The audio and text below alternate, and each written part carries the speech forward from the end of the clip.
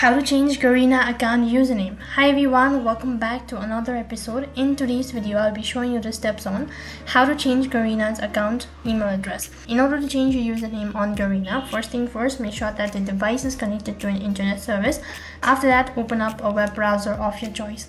And then on the web address bar, type in www.garena.com or account.garena.com. I'll make sure to drop the link on my description box below as well. After you type in the link, you'll be directed to its official page and on this page you'll be able to see this kind of interface. Unfortunately, there's no such way to change your username on Garena. If you're registering for a Garena account that time, the username that you've set will be a permanent username.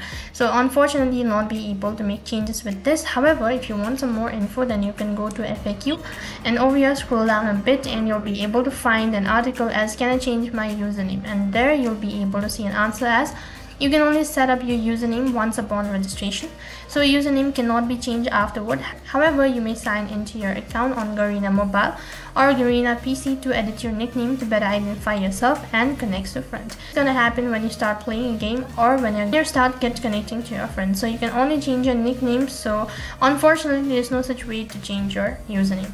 So the username that you've set will be a permanent username. Apart from that, you can just simply delete your account and then recreate a new account with a preferred username so in this way you can create you can make changes with your username on Garena account that is all for this video i hope the video was helpful Make sure to like, share and subscribe to our channel. Also make sure to comment down below for any further queries. Thank you for watching.